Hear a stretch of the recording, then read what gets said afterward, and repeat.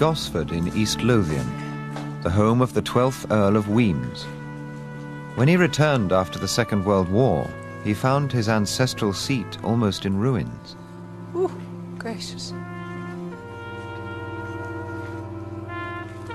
Well, this was the kitchen with a, an opaque glass roof and family rooms on the uh, first and second story around it. Like many of the great houses of Britain during the war, Gosford had been an army base, with soldiers living in the house and tanks on the lawn. Military occupation often led to extensive damage. At Gosford, an army electrician had accidentally set fire to the ballroom, and four-fifths of the vast mansion was now uninhabitable. Like all great country houses, the grandeur of Gosford had been an expression of aristocratic power. Now the family was reduced to living in the south wing. The aristocracy had reached an all-time low. In the 1945 election, Labour vigorously attacked privilege and the uneven distribution of wealth. Now a new parliament must be elected. The choice is between that same Conservative Party, which stands for private enterprise, private profit, and private interests, and the Labour Party, which demands that in peace as in war, the interests of the whole people should come before those of a section. There don't seem to be any pigeons living in them now. Were they full? Hmm? Were they full of pigeons at one point? Oh, they had had pigeons in them, Mm-hmm. but not now. At the Labour Party conference, Denis Healey expressed the class-conscious sentiments of many servicemen. The upper classes in every country, he said, are selfish, depraved, dissolute, and decadent. What we must do is talk about the decorations that we're going to have for the party on the 21st. Well, what is that party? I mean, who's coming to it? Gosford still has the marble hall and the 25 rooms leading off it. No, When Lord Wemyss grew up here before the war, this staircase led to rooms lined in white silk, hung with the portraits of Stuart kings. There were bathrooms made of marble, and a whole corridor of bedrooms for bachelor guests. His second wife didn't know the house when it stood intact. Now most of it is a confusing jumble of ruins. I'm afraid I can't find the room just now. Well, there isn't one. No, but I, I keep did. telling you. No, all right. There is no room We, here. we can look in beyond the big dining Unless you room. go through the window and into that room. All right. hmm Are these really bird ne- birds' nests? It wasn't only military carelessness that caused the damage, but also dry rot and faulty mortar. After the war, building materials were scarce, and you had to have a license to make repairs to private houses. The licenses were few and far between. Quite a dangerous place there. You might walk over and get killed. The real threat, though, was the idea that these buildings represented a way of life which had gone for good. They need dozens of servants to run them, and hardly anyone wanted to be a servant anymore. So at Gosford, as elsewhere, they simply gave up and took the roof off. The north wing was left open to the elements. The 1945 election was a landslide victory for Labour. At the polling booths, the people of Great Britain voted for the welfare state and nationalisation of coal, paid for by taxing the rich. In socialist Britain, the interests of the landed aristocracy seemed utterly irrelevant. Hugh Edward Conway Seymour, 8th Marquis of Hertford, Earl of Yarmouth, Viscount Beauchamp, Lord Conway, Baron Conway of Ragley and Baron Conway of Killultagh, grew up at Ragley in Worcestershire. He was nine years old when he inherited the numerous titles, the estate, and the house. I've always thought my mother was a little bit casual. No, she didn't tell me. I, I was lying in bed um, with some nasal problem of, of, some sort at my prep school, Ludgrove, uh, and um, reading, I think it was a daily sketch. Uh, I saw a tiny headline saying Boy of Nine, and because I was nine years old myself, I looked to see what Boy of Nine had done. To my complete astonishment, I read that Hugh Edward Conway Seymour had become the eighth Marquis of Hertford on the death of his uncle. And I thought, I really did wonder for a moment if there could be some other little boy of nine, also called Hugh Edward Conway Seymour. And Then I thought, no, that, that can't be. Uh, but I didn't even know I had an uncle called Lord Hertford. Because the new Lord Hertford was only a child, trustees were appointed to run Ragley on his behalf. During the war, they made the house available to the Red Cross as a hospital for wounded soldiers. It only made Ragley all the more exciting for the young Lord Hertford. Oh, it's wonderful. It's, it's a wonderful house for children. And of course, during the war, when the house was a hospital, although this film was rather out of bounds because it, it, was, it had 50 beds in it, I always had partners for tennis because it was a convalescent hospital, and so there were always a few patients uh, who were ready, able, and willing to play tennis with me. In 1946, the hospital closed and the Red Cross said goodbye to Ragley, leaving the house back in the care of the family. Uh, the Red Cross had paid for the central heating, and my mother then decided we couldn't afford the central heating. I don't know if we really couldn't or not. But the winter of 1947 was bitterly cold, and we had no heating at all. We just had rather small log fires. When Lord Hertford was 17, his mother and the trustees decided that it was no longer practical to live at Ragley and that the family should move out. My mother moved to a farmhouse, oh, only about a mile from here. Um, a farmhouse on the estate, you know. I did hate it. Horace Walpole, for instance, who fits quite nicely over the fireplace there, in, in the farmhouse dining room, he was floor to ceiling and looked ridiculous as a result. Um, and so much of our furniture is quite big, and it, it, no, I, I, never felt comfortable there. I really hated it, but all, it was more than that. It was, of course, an admission of defeat, as far as I was concerned. Um, and I was absolutely determined to move back into this house as soon as possible. The trustees stayed in control of the house and estate until Lord Hertford was 21. They believed the family would never live at Ragley again, and they allowed the house to slide into disrepair. Then they decided that Ragley Hall should be demolished.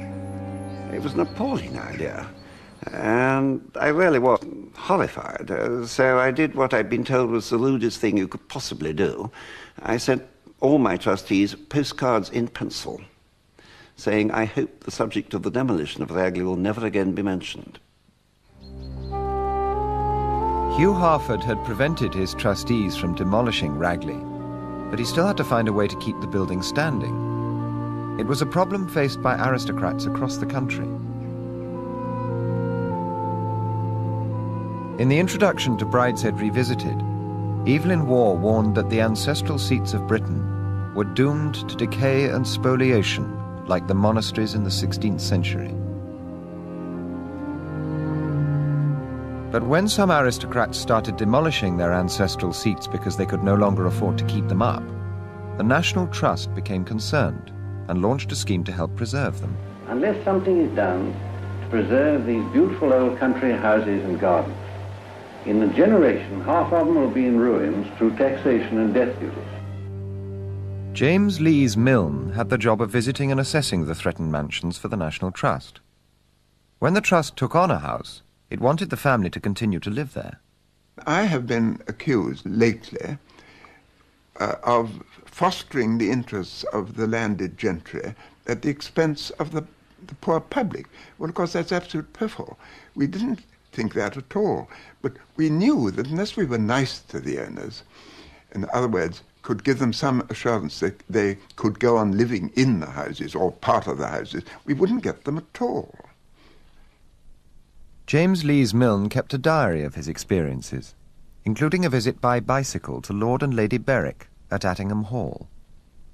I turned smartly left under an imposing archway off the main Wellington Road. But when the great house hove into sight, a moment of apprehension assailed me. Would Lord and Lady Berwick be very formidable? What would they think of an official from London arriving on a two-wheeler? Lord and Lady Berwick were surprisingly unreserved in explaining that in spite of a large estate, the house was a cruel burden to them. But it had to be preserved at all costs, however onerous, and the marvellous contents kept intact. They were very hard up, and, uh, and the place was in a pretty bad way. They were rather desperate, I think, and, I, and the trust help, was a help to them. But the trust could not help every impoverished aristocrat who turned to them. The Earl of Stradbroke failed to persuade them to help him with Henham Hall in Suffolk. The Trust could only take on properties which came with a substantial endowment and were of real architectural importance. Very often I would go, sometimes long journey to Northumberland or outer part of the country, furthest parts, and, and, and even have to stay a night or two to discuss the future of this house. And I might see going up the drive that it clearly wasn't a very important house. So I had to pretend. And I never would say to them, I'm afraid this house is no good. Um, I never did that, even if they asked me. Tuesday, 9th of July, 1946. Reached Wolseley Hall at 3. This place, the property of Sir Edric Wolseley, has belonged to his family since the Conquest.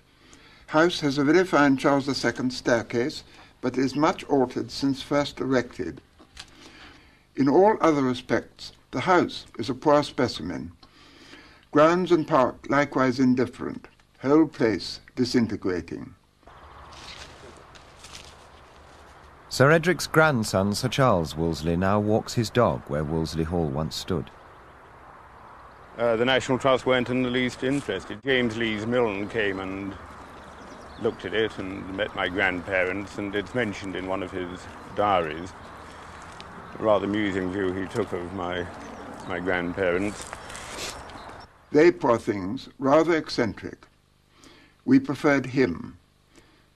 Michael was much shocked by the unmade beds and the fuzzy, unbrushed Catholic hair of our hostess. Anyway, the National Trust wouldn't touch it with a barge pole, with or without an endowment, and, and quite rightly. Uh, it needed a million pounds even to slightly restore it, which I didn't have. I still had to pay the estate duty on my grandfather's death. And uh, it was a, a case of demolishing it.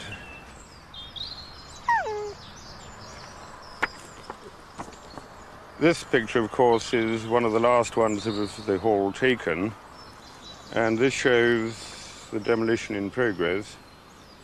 Because there was very little option. Between 1945 and 1955, over 400 stately homes were demolished. At one point, they were coming down at the rate of one every five days. The Labour government was surprisingly sympathetic to the plight of the houses. It commissioned the Gowers Report, which set in motion a new view of the aristocracy and their houses. Like the National Trust, the Gowers Report argued that aristocrats should be helped to stay in their homes. A reinvention of the purpose of the aristocracy was taking place aristocrats as guardians of our architectural heritage. In the old families, there is no sense of possession. Instead, they belong to the homes which they receive in trust, cherish, and pass on. Thus, the great houses make our history live. To save them from death is the aim of the Gowers Report. Just after the war, these places were meant to be absolutely useless, redundant, never wanted again. Nobody was interested in those sort of things. It was thought to be terrible that one person should own or be responsible for a place like this. And now, if you try and keep the roof on, you're meant to be a sort of hero. The Gowers report led to actual government cash to help towards the upkeep of these houses. At Ragley, Hugh Hertford applied for a grant to restore the roof. When the money was slow to arrive, he applied some pressure. I was asked to give a talk to the Council for the Preservation of Rural England uh, in London. And so I took the opportunity and I told the press in advance that I was going to make a reasonably important statement. And it was, in fact, televised as well as attracting a lot of press. And I announced that unless I got government help, Ragley would have to be pulled down, which uh, I must admit was bluff. Um, luckily, my bluff was not called. I did get a very large government grant. In fact, at the time, it was the biggest grant that had ever been given to any house. It was, I think, £100,000 um, in round figures. Lord Hertford's grant exemplified the change in attitude. The great houses of Britain now represented our national heritage. Where possible, their owners should be helped with public money. But in return for a grant, they had to let the public in. The stately homes of England, how beautiful they stand, amid their tall ancestral trees o'er all this pleasant land. But what they say today is this the stately homes of England, how lucrative they stand. All over Britain, the great houses were opening their doors to the public, and the public paid willingly. By 1960, there were over 200,000 visitors a year at Chatsworth, and nearly 600 other houses were also open. And for the visitors, the chance to snoop on the aristocracy at home was at least as enticing as the architectural splendors of house and garden. I'm very glad to welcome you here to Chatsworth this afternoon, and I feel very flattered that uh, you have found the time to visit the house. Before we go into it, uh, I would just say this, that when you get inside, I hope you will look at it not as you would look at a museum, but as somebody's home, because uh, this house is my family's home, and that although it has many beautiful things in it, there are also many not so good uh, and, and, beautiful, but just ordinary workaday things in it. It is a home and not a museum. At Woburn, the Duke of Bedford capitalized on the best attraction of all, the chance to meet a real live aristocrat.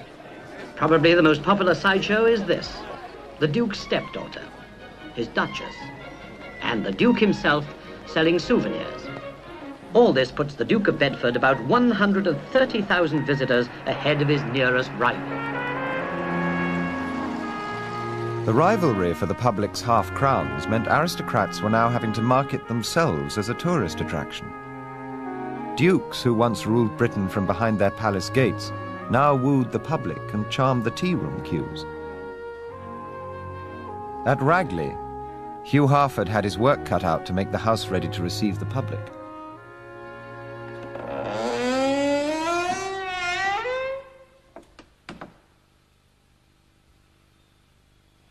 Everything that could possibly be covered in dark brown varnish was, or dark brown paint. And as you see, the wallpaper was fairly dark and pretty shabby.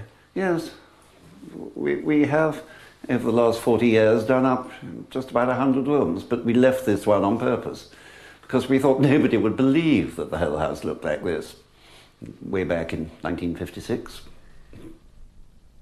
Ragley was largely repapered, repainted, and refurnished. But not every member of the family shared Hugh Hertford's enthusiasm for letting in the hoi polloi.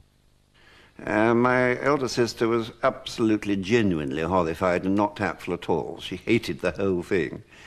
The first um, minibus that we bought for, to get the staff to and fro, I not only put Ragley Hall on both sides, I also had put it on the front and, and uh, had a coronet carved um, to, to go above the sign saying Ragley Hall. I remember my sister saying bitterly to me, you might, why don't you wear the coronet if you're so keen on it or something? And I said, well, I think it looked rather silly as I'm wearing jeans, you know. if I'd thought it would help, I probably would have gone around wearing it. And I remember I sat in the Great Hall selling guidebooks to people who came in on that first Easter Saturday. And um, I think we had 200 visitors on the Saturday, which was not very exciting. And on the Sunday, we had a thousand, which was wonderful. And on the Monday, Easter Monday, uh, we had, I think, uh, 4,000, um, which was absolutely unbelievable. But the public were fickle and easily put off. That first summer, it rained practically every night for six weeks, and we lost all the money that we'd made during the summer. We ended up, after six months, extremely hard work. Um, no, no better off at all. Come inside, I'll go. Thank you. It was clear that to keep the enterprise afloat, Hugh Hertford needed to come up with a unique attraction. His solution? Water skiing.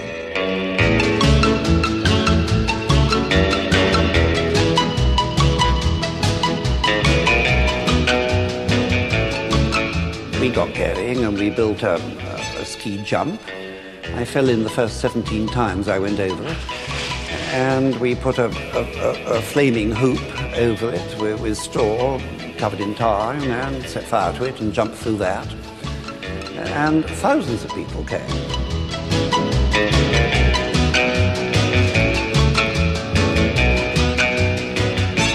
And it really was a huge success because at that time, 1960, nobody or very few people had ever even seen water skiing unless they'd been to the south of France or somewhere.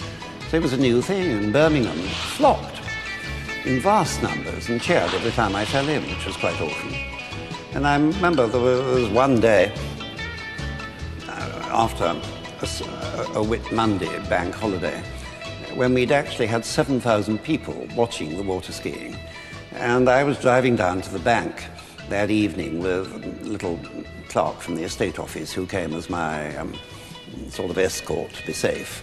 And I was, as I was driving, I was juggling these leather bags full of money.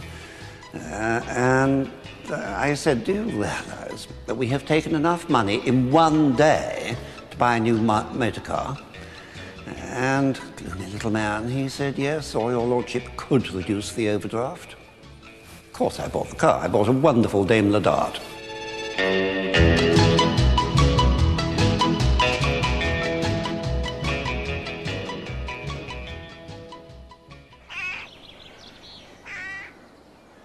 At Stapleford Park in Leicestershire, Lord Gretton used public opening as an excuse to indulge in his favourite hobby trains.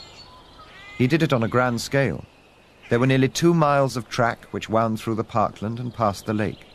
There were embankments and tunnels, and at the far end of the line there was a bridge over the river. There were turntables, signal boxes, and sidings. Lord Gretton built four stations, employed seven men, and had three steam engines.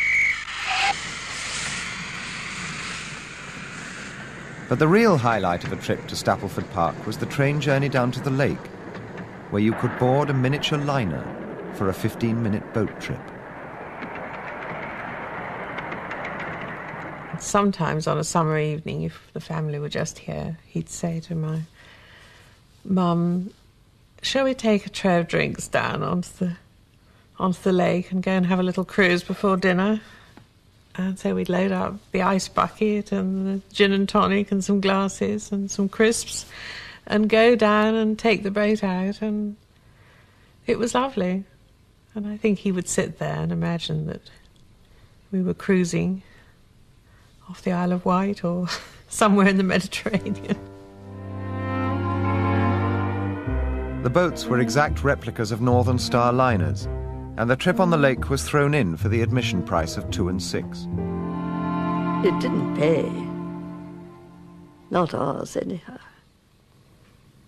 I think we were perhaps a little extravagant in the way we did it. Lord Gretton went well beyond what was needed to provide a good day out for all the family. In the search for more and more detail, he pressed retired farm worker Harry Taylor into service. My father had him sitting on the railway embankment with a little notice in front of him, and it said, Old Harry, the official train spotter. And he sat there all afternoon with his notebook. And we didn't abandon him. Somebody from the tea room would take him his little tray of tea and make sure he was all right. But on a nice day, I think he really used to enjoy it. It was five days a week, I think, you see. And um, so you were on the go all the time. It was quite hard work. One was quite tired at the end. At the end of the season, you really needed to go away for a break.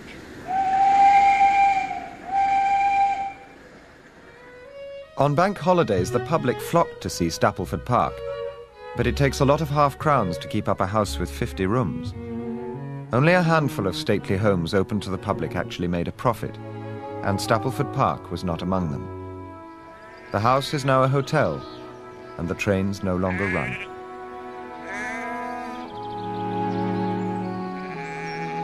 One of the biggest threats to aristocratic wealth was the increase in taxation, particularly death duties. At Chatsworth, they tried to take avoiding action. The old Duke handed everything over to his son. If he could live for five years after the gift, the death duties would be greatly reduced. But he died 14 weeks before the deadline, leaving the family to pay tax at 80% on their entire estate. Five million pounds with interest accumulating at a thousand pounds a day. However, the debt could be partly paid by gifts of art to the nation. It was very painful, and uh, we had to find 80%. It meant uh, 12 or so made uh, chief works of art um, went uh, uh, to the nation, and of course a lot of cash and a great deal of land. The debt took 17 years to pay, and the new Duke had to get rid of Hardwick Hall, one of their seven houses. But luck and judicious arrangements meant that in the end the Devonshires came out of it rather well. It was penal taxation, but when it came to the works of art, uh, we didn't do it uh, nearly as bad as we might.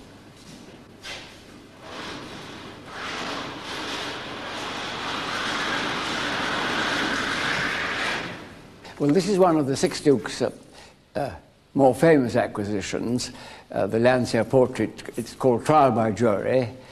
Yeah, I think it's very popular with the public, but it's a, a good contrast to, to, the wall opposite, where we've got the really lovely Rembrandt and two very good houses. Uh, looking at this picture gives me enormous pleasure, which is perhaps rather uncharitable, because uh, when we had our tax problems, we had three Rembrandts, and uh, we had to cede uh, uh, one Rembrandt to the nation, and they chose one. And uh, then, uh, not so very long ago, about 15 years ago, the experts uh, decided that the one in the National Gallery was School of Rembrandt, whereas our two were the Royal McCoy, so that was rather satisfactory. It is a, a really wonderful portrait. Uh, I think particularly the hands. Uh, um, after my, that thumb is really the most marvellous bit of painting. The school of Rembrandt picture which belongs to the nation is now worth less than £50,000.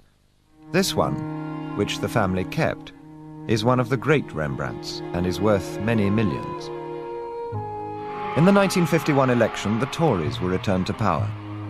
Over the next decade, the aristocracy enjoyed something of a revival of its political influence. Churchill, grandson to a duke, returned to number 10. Churchill, Winston Spencer, 40,000. I uh, wish you all, whatever party you belong, good fortune for yourselves and for our island home. Four years later, Churchill was replaced by the aristocrat Anthony Eden, who in turn was replaced by Harold Macmillan, uncle by marriage to the Duke of Devonshire. In 1962, the journalist Anthony Sampson wrote a book, Anatomy of Britain, dissecting the power structure of the country. In it, he included an elaborate family tree showing the still impressive connections at the top of the British establishment. The Prime Minister was related by marriage to the President of the United States, the British Ambassador to Washington, the British Secretary for War, the editors of The Observer and The Times, and the Governor of the Bank of England, as well as 35 members of his own government. That interconnection, which was what a lot of people thought of as the establishment, was, when you looked at it, was rather closer than I'd thought. It was, of course, in some ways misleading because some of these families hated each other and some of the spouses were at loggerheads for their husbands and so on. Uh, so you wouldn't probably find them all in the same room at the same wedding party, for instance. But nevertheless, it was a network. The important thing, I think, it was a communications network, which was, at that time, was unbeatable. Macmillan's government was a fruitful subject for such familial study. His wife was one of the Devonshire family, and Macmillan promoted many of her relations. Well, Macmillan was undoubtedly a snob. I mean, he married into the aristocracy. He was rather unsure of himself in that context. He was really an intellectual, a Scotsman who was rich but not grand by background, rather puritanical family. Uh, and he did love to feel himself being part of that world, which had in the past actually been rather rude to him. They had thought him rather sort of priggish bore, and he had a bit of a complex about that. But in a sense, I think by becoming Prime Minister, he was getting his own back. And he was showing them who was the boss and bringing them into government in order, in some ways, to be able to uh, parade his own uh, equality or superiority over dukes and uh, grandees generally. One of the dukes Macmillan brought into government was his nephew by marriage, the Duke of Devonshire. It was the most monstrous act of nepotism that's ever taken place in modern politics. Uh, my uncle by marriage, Harold Macmillan, had always been a very good friend to me, uh, and uh, we got on very well. And uh, he, th- he knew I liked politics, and so he thought he'd make me a minister. He wouldn't have done it unless he thought I could make a reasonable fist of it. But still, uh, it, it, it could not be justified. But Harold Macmillan made two lasting changes to the political power base of the aristocracy, the House of Lords. In 1958, he introduced life peers, men and women who were given a title and a seat in the House of Lords, but who could not pass this on to their heirs. Among the earliest life peers was Lord Alport, previously a Tory MP. The idea was that you would dilute the hereditary peerage uh, and would enable at the same time for the government of the day to exercise patronage, which is important to governments, and being able to create peers without flooding the whole country with hereditary peers. It was a huge change to the makeup of the House of Lords and the meaning of titles. The whole idea that you could make an ordinary chap a life peer without the kind of obligations to or the assumptions of it being a sort of dynasty that you were establishing, that was new. The power to, again, to make and break people from number 10 was enormously increased. And the idea that one, one day are Mr., the next day are Lord, all because you've been sucking up to the Prime Minister, was a tremendous extra element. But there were a few lords who wanted to revert to being misters. In 1960, Anthony Wedgwood Benn inherited a peerage. He then began a lengthy campaign to be allowed to give it up and stay in the House of Commons. Wedgwood Benn, 20,313.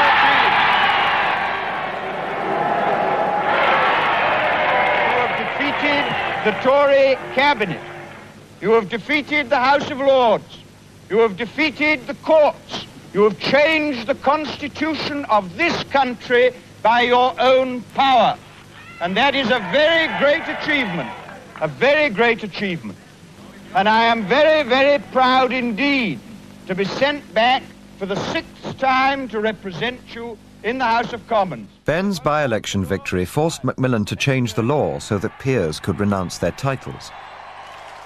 One of the first peers to follow Benn in giving up his title was the 14th Earl of Home, Macmillan's preferred successor as Prime Minister. Thank you so much. And when, of course, Macmillan was succeeded by the Earl of Home, um, that was even more obviously the, the last sort of uh, desperate uh, attempt to pretend that Britain was run by an aristocratic system, and that, in a sense, I think, took the drama into farce. Lord Home, sir, can you tell me if you've managed to tell the Queen that you're going to form a government? Yes, I have, and I've kissed hands on appointment as Prime Minister. Do- have does- any of your senior colleagues refused to serve, sir? I've Mr. Butler in the cabinet. No, we're going to work together to win the next election. Does this mean you'll be giving up your title, sir? What? Does this mean you'll be giving up your title? Oh, yes, I think it will just be have a done. word, I'll, mister? I'll be saying things later. Alec Douglas Home's political career was by no means ineffective, but his patrician style was now thoroughly outdated. The election of 1964 was won by the Labour Party.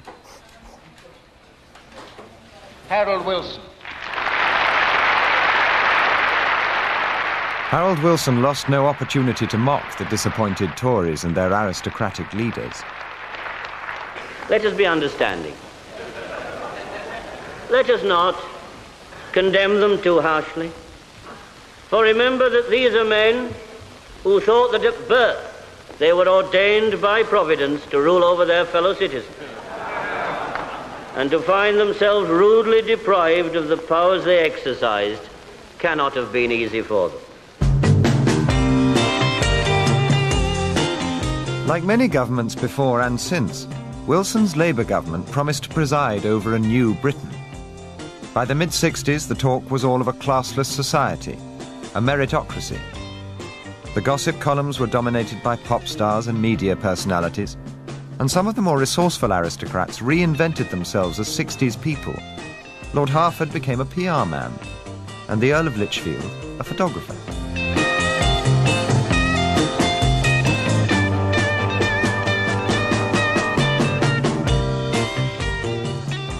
I suppose this group represents to some extent an emergence of a sort of meritocracy. The, um, these were people who were either successful uh, or potentially successful, um, who came from myriad backgrounds, but constantly one was producing groups like this, which was really for American consumption, or hey, look at us, uh, this is the new class order in Britain. These are the people that matter. These are the, are the movers and shakers. Pop stars like Ray Davies, boxers like Terry Downes, and filmmakers like Roman Polanski. The old London society seemed to have gone. Now, at the parties everyone wanted to go to were artists like David Hockney and actresses like Susannah York, journalists, PR men, photographers, and hairdressers. A really interesting group of people who, some of them, if you like, monosyllabic, but they still had something more interesting to say to each other than the, than the social, um, uh, samey groups that used to meet before that.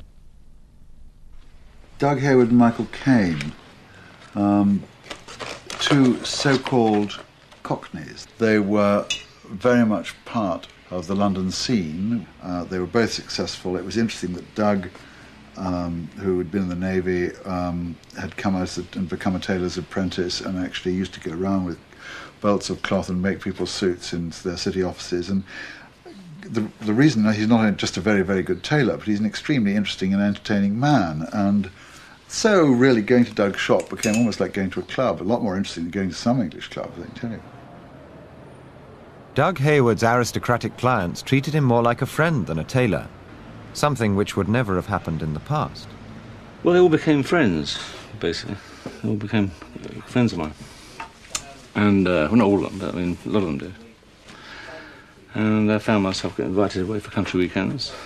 And come and stay on my boat and things like that sort of stuff. But the thing about that is not to do it. It's nice to be asked, but don't do it. Because then they realise you're just you're not so special after all when they, they spend a bit of time with you.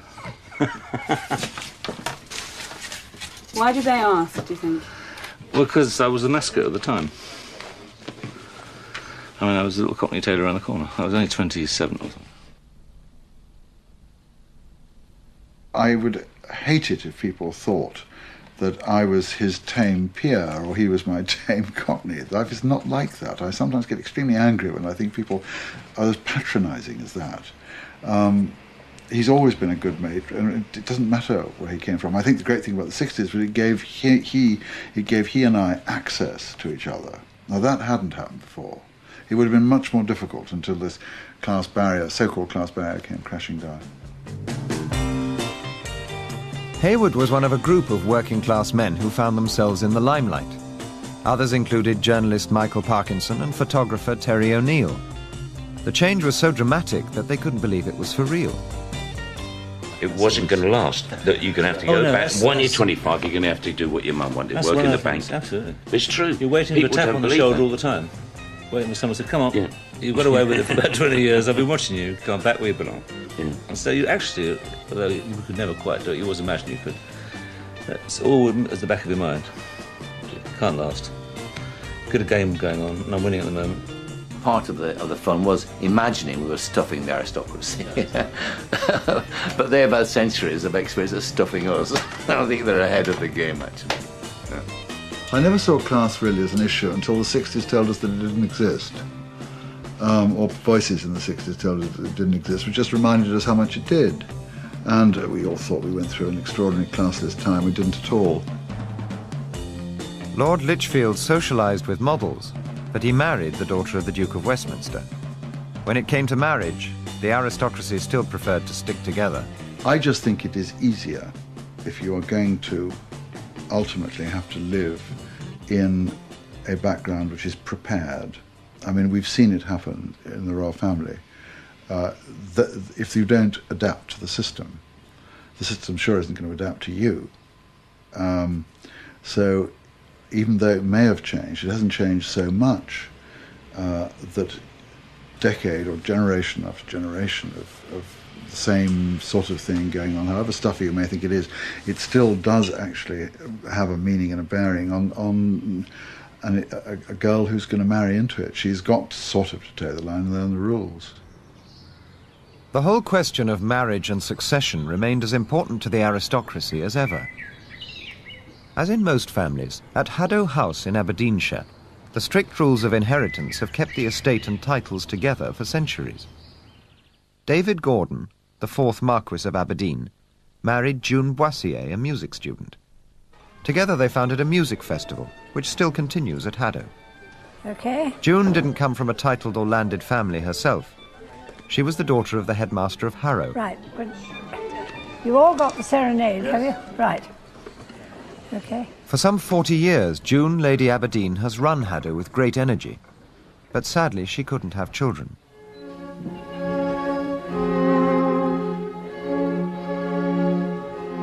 Eventually, they adopted. First a daughter, Mary, and then two boys and another girl. They went against some family opposition to do so because these children could never inherit either title or estate. Under the rules of aristocratic succession, only blood counts.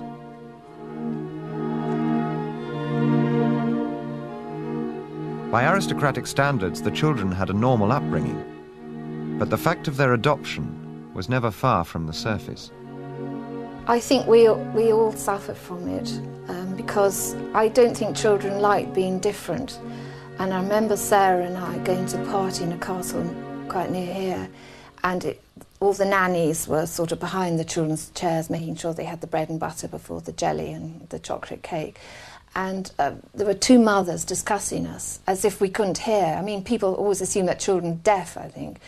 And um, oh, the little Gordon girls, of course, you know they're adopted. And it made it's almost as if there was something slightly not quite right about it. And I think we grew up feeling that we were sort of second best in a way.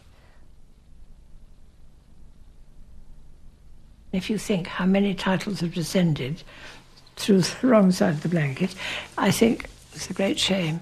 I, I, I just don't mind. I mean, now I did mind, of course, very much. It's a great sorrow that you can't produce children, but on the other hand, I've had so much else, you see.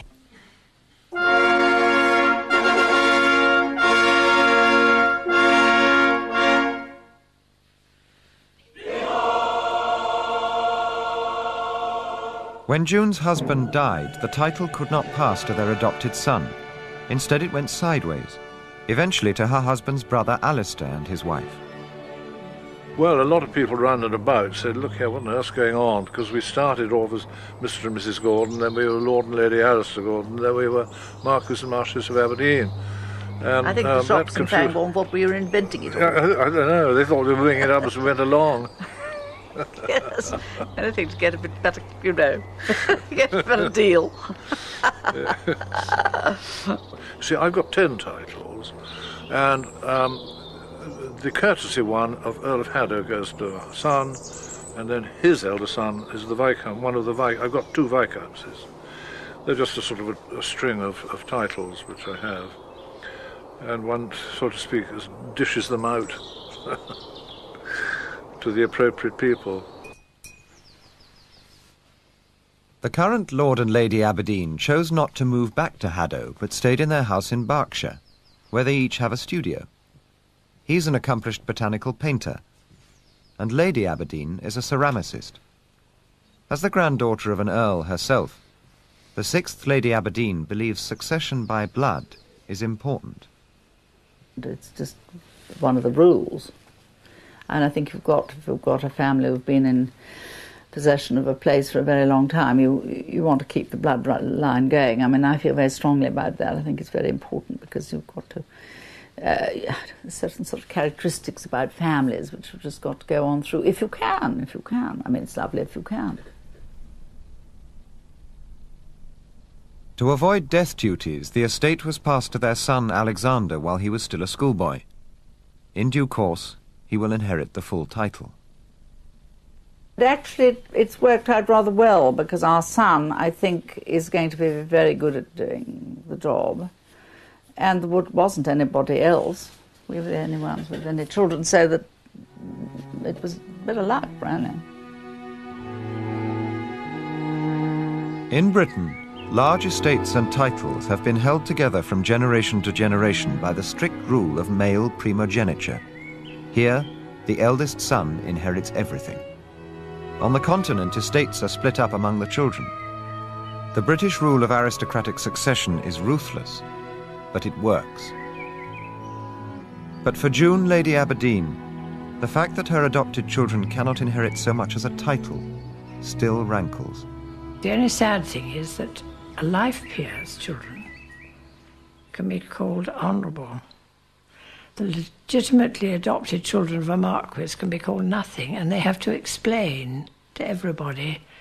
But if they could just have an honourable like a life peer, then they wouldn't have to explain why they've got nothing.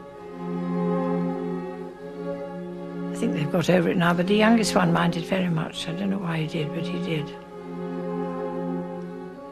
The aristocracy continues to take the concept of breeding seriously. They believe their genetic inheritance has stood them in good stead for many centuries and will continue to do so in the modern world. I think you have to remember that um, the aristocracy, the, the peerage, the nobility, whatever you like to call it, are a very much more resilient lot than you would actually give them credit for um, you will find that they are a lot tougher. A lot tougher. I've learnt this as I've got older. I actually include myself, and I'm quite surprised at how resilient we are. And I think that we are less daunted by uh, the onset of a potential socialist government than most people think we are.